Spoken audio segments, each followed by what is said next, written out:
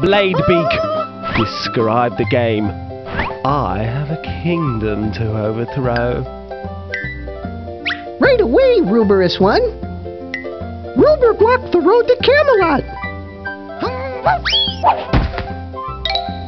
Use the mouse to move the shield back and forth to bounce balls at the barricade. You'll begin with four balls. Ready?